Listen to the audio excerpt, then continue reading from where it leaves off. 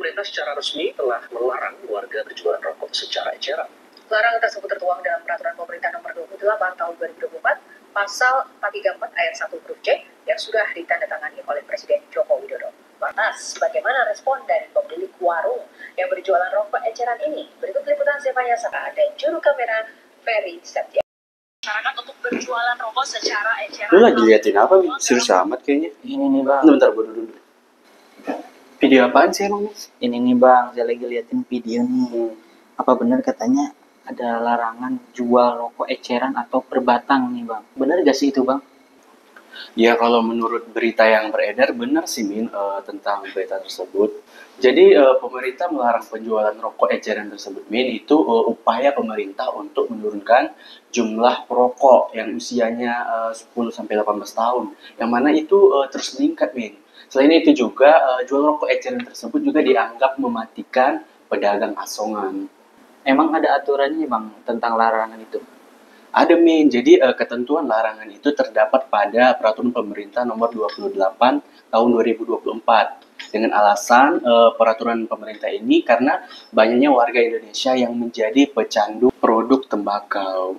Eh, untuk apa namanya mengenai larangan aturan jual rokok eceran itu seperti apa bang? Nah, mengenai larangan untuk menjual rokok eceran ini, Min, eh, sudah diatur dalam pasal 434 ayat 1 Peraturan Pemerintah Nomor 28 Tahun 2024, yaitu setiap orang dilarang menjual produk tembakau dan rokok elektronik. Eh, di huruf A-nya menggunakan mesin layan diri. Terus di huruf B eh, kepada setiap orang di bawah usia 21 tahun dan perempuan hamil.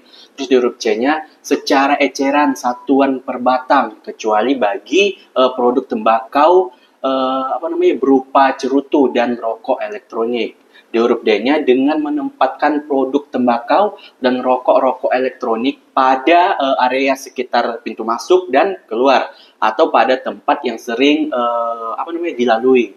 Terus di huruf E-nya eh, dalam radius berapa ya? Eh, 200 200 meter dan satuan eh, pendidikan dan tempat bermain anak. Nah, yang terakhir di huruf F menggunakan jasa situs web. Karena kan banyak tuh kayak yang em, beli beli rokok eh, lewat APK apa gitu kan.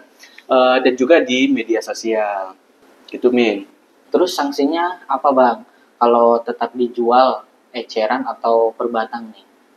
Ya, eh, sebenarnya dalam peraturan pemerintah nomor 28 tahun 2024 ini eh, tidak menyebutkan sih Min eh, sanksi yang akan dijatuhkan bagi setiap orang yang masih melakukan transaksi eh, penjualan rokok eh, eceran atau batangan. Tapi eh, dalam ketentuan ini eh, pelanggaran membuat eh, apa namanya? Eh, bukan pelanggaran apa? Pelarangan. Pelarangan membuat kemasan rokok kurang dari 20 batang bertujuan agar harga rokok itu eh, tidak mudah terjangkau oleh konsumen.